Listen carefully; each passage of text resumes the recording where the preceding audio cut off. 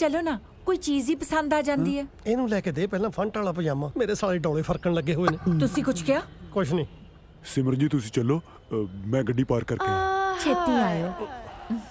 ਹਾਂਜੀ।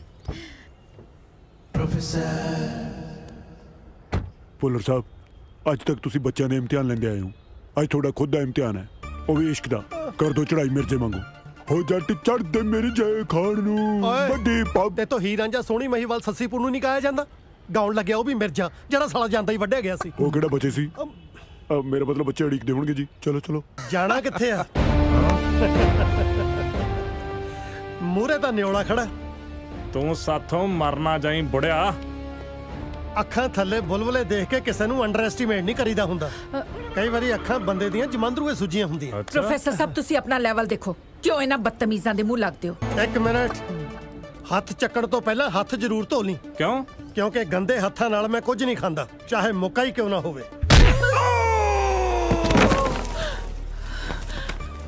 ਗੱਲ ਤਾਂ ਮੁੱਕਾ ਮੂੰਹ ਤੋਂ 7-7 ਇੰਚੀ ਪਾਸੇ ਦੀ ਕੱਢਣ ਦੀ ਹੋਈ ਸੀ। ਇਹ ਸਾਲੇ ਨੇ ਜਵਾੜਾ ਹੀ 7 ਇੰਚੀ ਪਾਸੇ ਕਰਤਾ। ਮੈਨੂੰ ਕਹਿੰਦਾ ਸੀ ਦੋ ਚਾਰ ਮੁੱਕੇ ਤਾਂ ਖਾਣੇ ਹੀ ਪੈਣੇ ਆ। ਪਰ ਮੈਨੂੰ ਲੱਗਦਾ ਮੈਸੂ ਤਾਂ ਦੂਜੇ ਨਹੀਂ ਝੱਲਿਆ ਜਾਣਾ।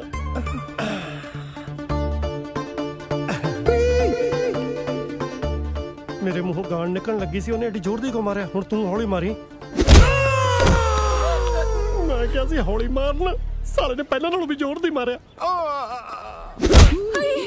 ਇੱਕ ਮਿੰਟ ਓਏ। ਜਦ ਪੈਸੇ ਪੂਰੇ ਦੇਣੇ ਆ ਫਿਰ ਛੱਲੀ ਵਾਂਗੂ ਦੇਣ ਦਾ ਕੀ ਮਤਲਬ? ਕਿਹੜੇ ਪੈਸੇ ਓਏ? ਓਏ ਰੁਕੋ ਰੁਕੋ। ਇਹਨਾਂ ਨੂੰ ਨਾ ਮਾਰੋ ਵੀਰ ਜੀ ਪਲੀਜ਼ ਇਹਨਾਂ ਵੱਲੋਂ ਮੈਂ ਸੌਰੀ ਕਹਿ ਦਿੰਨੀ ਆ। ਸੌਰੀ ਨਹੀਂ ਹੁਣ ਤਾਂ ਆਈ ਲਵ ਯੂ ਕਹਿਣਾ ਪੈਣਾ। ਆਈ ਲਵ ਯੂ ਕਹਿੰਦੀ ਆ ਮੇਰੀ ਜੁੱਤੀ। ਇਹੀ ਜੁੱਤੀਆਂ ਹੁਣ ਇਹਦੇ ਵਰਣਗੀਆਂ। ਹਾਏ ਹਾਏ ਉਮਰ ਦਾ ਤਾਂ ਖਿਆਲ ਕਰੋ ਬੁੱਢੇ ਬੰਦੇ ਦੀ। ਮੁੰਡਾ ਨਾ ਕਹੋ ਛਿੱਤਰ ਭਾਵੇਂ ਤੋਂ ਫਾਲਤੂ ਮਾਰ ਲੈਣ। ਤੈਨੂੰ ਹਾਏ ਮੇਰੀ ਬਾਹ ਨਾ ਮਰੋੜ ਕੱਚ ਚ ਫੋੜਾ ਨਿਕਲਿਆ। ਇਹ ਹੁਣ ਤੇਰਾ ਕਿਵੇਂ ਫੇਨਿਆ ਸੀ ਫੋੜਾ।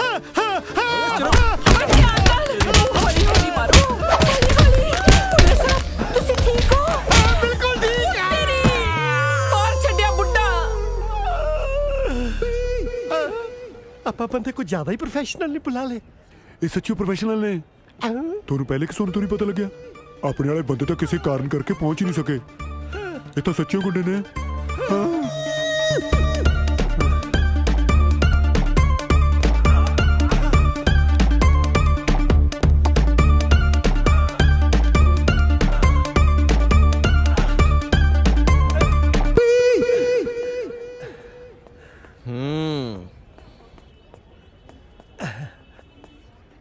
ਵੀਰੇ ਆਪਣੀ ਕਾਦੀ ਲੜਾਈ ਆ? ਆਪਣਾ ਕੋ ਵੰਡਿਆ ਹੋਇਆ? ਬਸ ਥੋੜੀ ਜੀ ਕਨਫਿਊਜ਼ਨ ਹੋ ਗਈ ਸੀ। ਆ ਦੇਖੋ ਸਿਮਰਨ ਨੇ ਤੁਹਾਡੇ ਕੋਲੋਂ ਮਾਫੀ ਮੰਗ ਲਈ ਆ। ਬਾਕੀ ਗੱਲ ਰਹੀ ਲਵ ਯੂ ਦੀ। ਉਹ ਮੈਂ ਕਹਿ ਦਿੰਨਾ love you darling love you ਜਾਨ। ਉਦੋਂ ਤਾਂ ਬੜਾ ਨਿਓਲੇ ਵਾਂਗੂ ਝੱਗ ਕੱਢਦਾ ਸੀ। ਹੁਣ ਕਿੱਥੇ ਗਿਆ ਤੇਰਾ ਜ਼ਹਿਰ? ਵੀਰੇ ਮੈਂ ਜ਼ਹਿਰ ਦਾ ਨਹੀਂ। ਮੈਂ ਤਾਂ ਸ਼ਾਇਦ ਦਾ ਭਰਿਆ ਹੋਇਆ। ਕੋਈ ਨਹੀਂ ਹੁਣੇ ਦੇਖ ਤੇਰਾ ਸ਼ਾਇਦ ਕਿਵੇਂ ਚੋਨੇ ਆ। ਹੁਣ